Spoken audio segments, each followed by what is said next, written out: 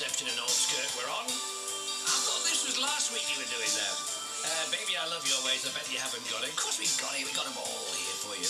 Uh, Mrs. M would love to hear the Bar-Kays and Soulfinger. We love the sounds. You're loving the sounds? Good. I'll tell you what I love about... Rooms Davidson will fight for what's rightly yours on a no-win, no-fee basis. So get in touch today. Call 236 5000.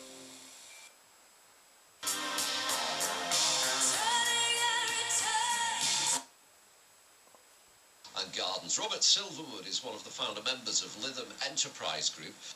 Ie, iddyn nhw'n mynd efo cymysgu trwy eisiau machine.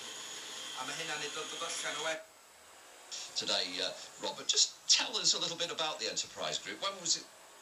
You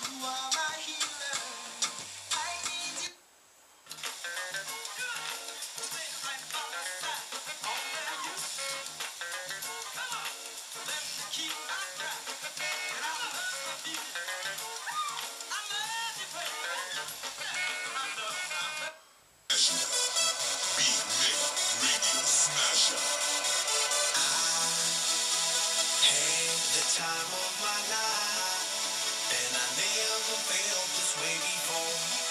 And I swear this is true, and I owe it.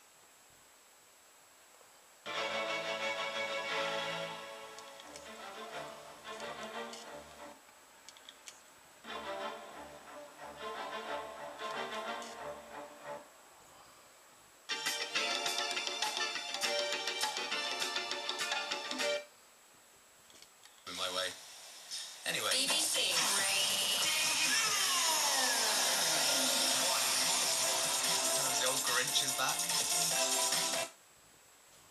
Oh, you. So I've got this new record called Brat to play, which has been on the floor for years by Armand Van Helden, and it'll be on in a second. The other day I asked you to call up on 03700 100. Tell me what you thought was the most talked about thing on Twitter.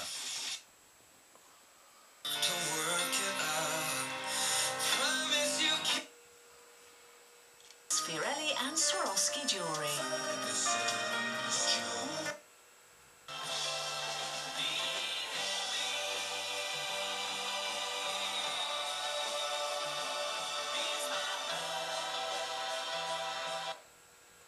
Fred there from Neston.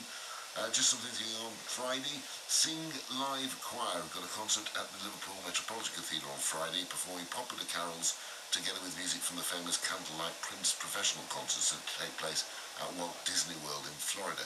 7.30, Metropolitan Cathedral Friday. Tickets available on the door. On Saturday, there's Carols in Court. This is Lomac Productions leading sing-along carols in the Crown Court of Liverpool. that Lytham has a bit of an R factor. You know, you talk about coming to Lytham and you go, oh, I, I love Lytham. It's a little bit funny, this feeling inside. I'm not one of those who can easily hide. I don't have much money. in a vulnerable group, you must get your flu vaccine.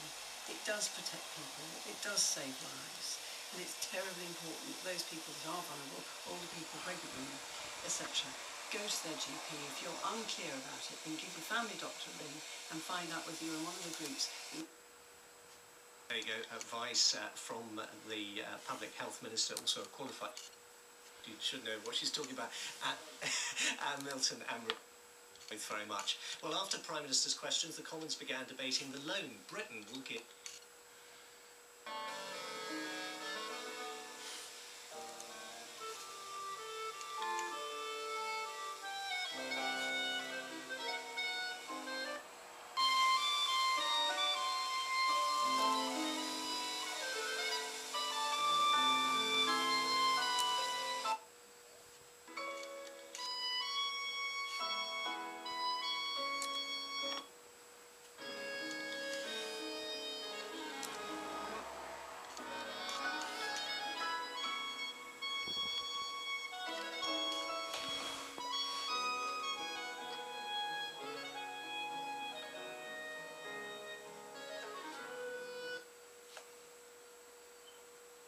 20 years, I've been bitten 20 times. It's once a year.